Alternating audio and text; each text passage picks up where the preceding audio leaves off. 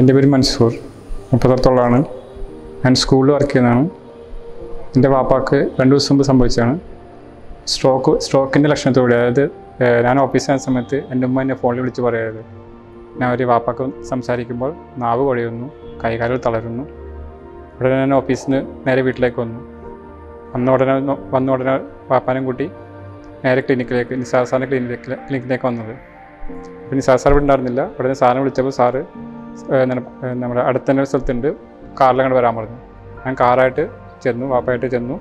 അപ്പോൾ കാറിലിരുത്തി തന്നെ സ്ഥലം നോക്കി ഹീൽ ചെയ്തു. അതായത് ഡിസ്റ്റൻസ് ഹീലിംഗാണ് ചെയ്തത്. ആ ഹീലിങ്ങിൽ അപ്പം തന്നെ വാപ്പാക്ക് വളരെയധികം മാറ്റങ്ങൾ വന്നു. ഒരു ഇരുപത് മിനിറ്റോളം ഇരി ഇരിക്കേണ്ടി വന്നു. പക്ഷെ ആ ഇരുപത് മിനിറ്റ് കൊണ്ട് വാപ്പ വളരെയധികം ഭേദപ്പെട്ടു.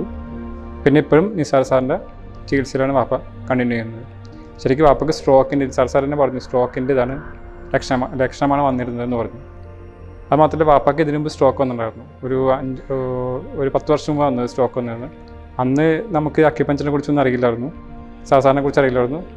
അപ്പോൾ ആ സമയത്ത് ലിസിയിലാണ് ട്രീറ്റ്മെന്റ് എടുത്തത് ഐ സിയിലേക്ക് എടുത്തിട്ടുള്ളായിരുന്നു വീണ്ടും ഇപ്പോഴാണ് വരുന്നത്.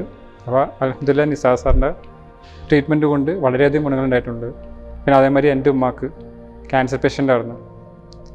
ഉമ്മക്ക് എന്ന് വെച്ചാൽ ബ്രസ്റ്റ് ക്യാൻസർ ആയിരുന്നു. സർജറി കഴിഞ്ഞു കീമോയും റേഡിയേഷനും കഴിഞ്ഞു. അതിനുശേഷമാണ് നിസാർ സാറിനെ കുറിച്ച് അറിയുന്നത്. പിന്നെ ഫുൾ ട്രീറ്റ്മെന്റ് നിസാർ സാറിന്റെ അടുത്താണ് അലഹമില്ല ഉമ്മാക്ക് ഇപ്പോൾ യാതൊരു പ്രശ്നങ്ങളൊന്നുമില്ല. ഉമ്മ വളരെയധികം ആരോഗ്യവതായിട്ടിരിക്കുന്നു അലഹമില്ല